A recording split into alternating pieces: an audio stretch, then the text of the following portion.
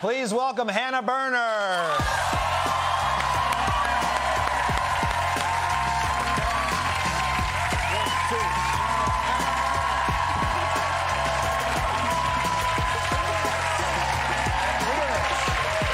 I mean, look at this is amazing. This is your so daily show. I tried to match the energy.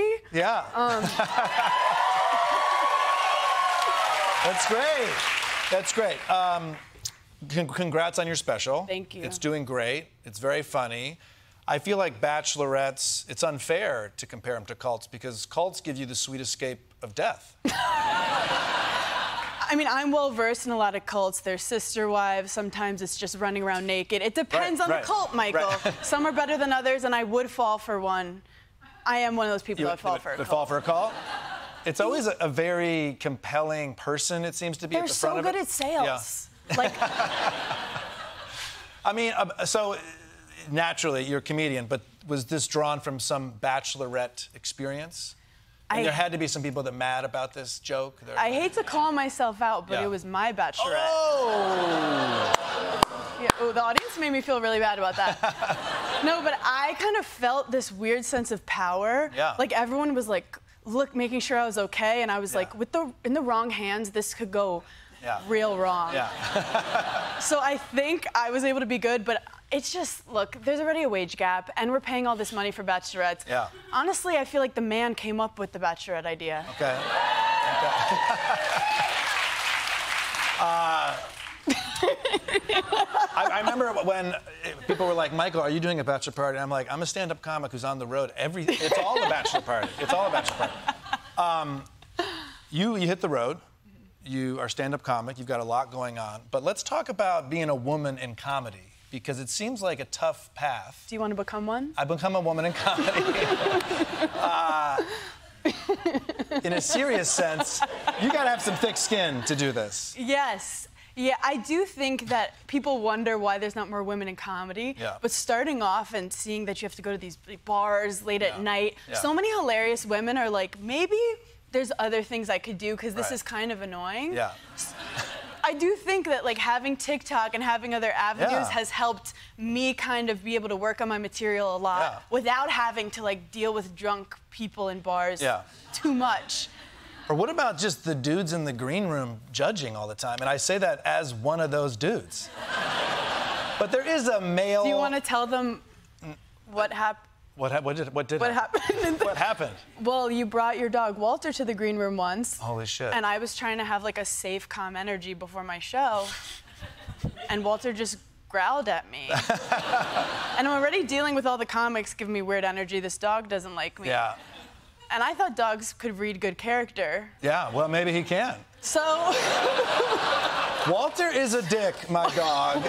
Uh, and you should follow Daily Show Dogs. There's a lot of pictures of him on there.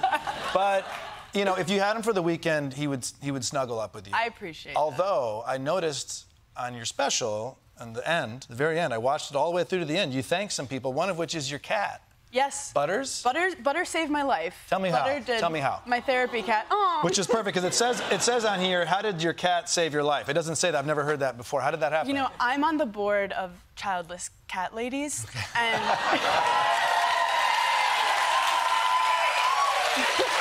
am I trying to run for something right Yeah, now? What am yeah, I yeah. doing? Um, no, but I do feel like there's moments where a cat just being there for you, not judging Yeah. you for all of your mistakes and Yeah. regrets, she just loves you for you, and that Yeah. was important in some hard times in my life. Yeah. Because you know, comedy is a coping mechanism. I think Yeah. having a really cute animal is also a coping mechanism. this whole business is people saying no to you, but when I come home, my dog says yes to me. And that that sounds like very sexual. What I just said.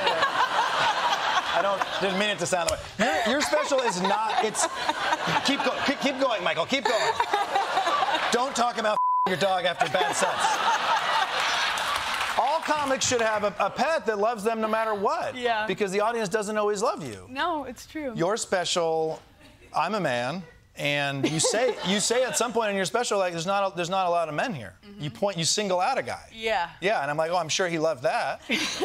But am I, was I as a man was I allowed to consume and watch I your special? love. The, I feel like it's kind of like you know the reality TV shows that guys who are like I'm not into this stuff. Yeah. But then like half an hour in, you see him in the kitchen, just like why'd she say that to her? Yeah, totally. Why'd she say that? Totally. So I feel Totally. like this is a great special to watch with your guy. Yeah. And I feel like it's kind of the female locker room. Like they hear is. things, or or girls are like, see, I'm not the only one. Yeah. Who like during a can I say queef? Yeah. Anyway. I feel like I like kind of just speaking out as a childless cat like com- community, yeah. Um, and making guys kind of understand us a little more. And like we like Yeah. the s- comedy from a male perspective, and I think it's great to have the female perspective too. I agree, and it's yeah.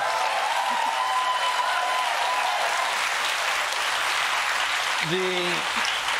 The Daily Show's been on air for 29 years. No one has ever said queef behind this desk. I was trying not to, and it just came out.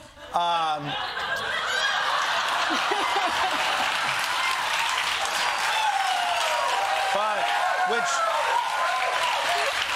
that's in contradiction to what you said in the special, because in the special you said I've never queefed by myself. You, um, you Yeah. skinny dick, queefed me. Yes, yes. I don't know if I used the term skinny dick. You just said that. Oh shit. No, I said needle you dick. I said massive needle dick. hog dick. No, but I do think a lot of girls have been gaslit to believe that like they have a problem if they Yeah. queef, and it's like he queefed you. Yeah. And I got a lot of messages. I got Yeah. a lot of messages from women being Yeah. like, "It happened tonight, and I felt no shame." And if that's what I bring to the world, that's what I brought. yeah, I mean that's like. a lot of applause. No, I mean. This audience apparently does a lot of queefing. Big queef crowd. Speaking of queefs, um, There's no way to there's segue no way to this. segue to that. I was gonna say that we've played tennis together. We have. But that doesn't have to do with queefing. But grunting is a sound that our bodies make. Mm -hmm. Different location. Yeah, and grunting's just like laughing, which Yep. we all love to do. And we might edit a lot of that out. Yeah. I, but people don't know that when I first started comedy, Okay. we hit tennis balls together. And I remember being like, wow, this is a guy who played tennis who's a successful comedian. Maybe there's a chance that I could, you know, do well in this business. Yeah. And look, look where we are now. It's pretty cool. Yeah, I like how you're saying we. Uh, the reason Walter growled at you is he saw the trajectory of your career. He was like, stop her now. No, I mean, you, you played at University of Wisconsin, Madison. Go Badgers. Go Badgers. Um, I mean, what does this, Oh. what does this evoke? What does that evoke for you? I'm upset. By the way, that's her. We didn't just pull like, no, you know, I was in it, you know, Yeah. waking up at 6 a.m., Yeah. weights, tennis. yeah, look at that. I yeah, I you know, I worked my butt off Yeah. and I do think that there was a moment when I didn't go pro where I was like this was all for nothing. Yeah. I'm glad I wasted 15 years of my life. Yeah. And I really now looking back realize how tennis did prepare me for a lot of the adversity that I've dealt with with comedy and how with comedy you're never like a real loser unless you like tell yourself you're a loser. Right. Because I could I could be like they liked it. They Yeah. they were laughing with their nose like they where tennis it's like you lost you Yeah. suck. So Yeah. I've been much kinder to myself with comedy than. I was with tennis. Yeah. And I think you know, dealing with pressure has been easier compared to like some of the things I dealt with with tennis. Why is the, the junior tennis world, and excuse us, everybody, we're just going to talk about junior tennis for a second. niche. But this is very niche. It is, you're so true about being kinder to ourselves, and I think it's something we all can do all the time positive self talk. And I, and as a junior tennis player, heard you should be positive with yourself, but it wasn't happening. No. Is this, is junior tennis, I mean, is it traumatic? Is it good? You said it prepared you. Yeah, because I'll joke with my dad. I'm like, I think you were too tough on me. He's like, Well, you turned out okay, so I think I did good. Yeah. Um, controversial. No, Yeah. but I I do think it's. Your joke about queefing was good. and you got tennis to thank for I that. get my sense of humor from him. Yeah. But I do think when we were growing up, um, I mean, you're a little older than me, but when we were growing up, we didn't have, we weren't, people weren't aware of like the mental health as much. Yeah. And we knew that it was supposed to be hard, and it was just whoever can push their, themselves harder. Yeah. And I didn't realize that you could have fun and be a winner. Mm. And I think with comedy, I've learned like you can laugh, have fun, Yeah. and also succeed in ways. Yeah. And I think it's a cheat code to decide not to be mean to yourself Yeah. Um, and that would, took a long time for me to learn. Yeah. But it's like with tennis, I loved it, but it didn't always bring me joy. Yeah. And I didn't realize that you can stop and find something that brings you joy that you'll also be good at too. I love that. That's excellent. And that's great. Quit your jobs. Quit it. Quit your jobs. Find joy. Do drugs.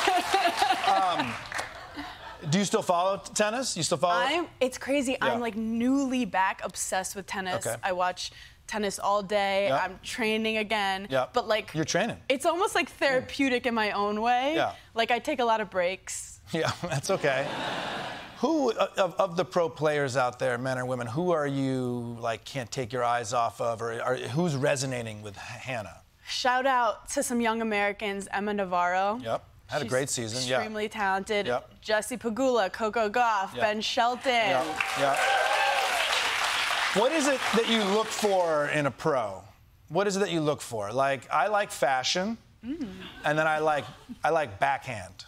Mm-hmm. I really want a player that has a badass backhand, right? I like a player who's fearless. Ooh. I like a player who goes for things and does things that I never had Yeah, chutzpah correct. to do on my own. I love that. I want to see people, yeah, who seem like they have no fear. Yeah. Um, even though I know they're all scared, it's Yeah. cool to see like they're not human. I love watching Ben Shelton. ben Shelton will hit like 150 mile an hour second serve, and the way I used to hit second serves was like this: please go in, please go in, please go in, please go in, please go in, please go in. Yeah. I mean, I think it's tennis is such a mental battle, so I love peop- seeing people overcome their nerves and fears. Yeah. And, and I also kind of love to see when they are human, like when Sabalenka lost her serve. Yeah. That was so human of her, Yeah. and then she won a major after Yeah. that. So I love seeing people deal with adversity, and I love comebacks. I love revenge. Honestly, sports is the best reality TV. Let's talk about last thing you you, you mentioned it. Revenge. Yeah. Revenge. I'm Sicilian. You're okay. That, that's that's Oh, it. I, that's all I needed to know. No, but I mean, one of the things that endears, one of the things that um, I really love about you is your work ethic. I mean, before the show, I see you doing man on the street in the city of New York. Afterwards, you're always like, you're you got your podcast, you got your TikTok, you're crushing it. What is driving this? Is it some kind of revenge? I would say that's a glamorous. I would love to blame revenge, but like I'm running from my thoughts. 'Kay. When I'm sitting alone for an hour, I start to be like, who is Yeah. gonna die? And I or I just I love working. It makes me feel fulfilled. I love creating. But I also think revenge, like there's always gonna be people don't believe in you or people who try to take you down. And I think as a tennis player, we're very individual. Yeah. So I kind of have this story in my head where I'm like, I'm gonna take all that energy and help motivate me every day to like keep working, keep creating. I love it. Yeah. Hannah Berner. We, we Ride at Dawn is streaming on Netflix. Hannah Berner.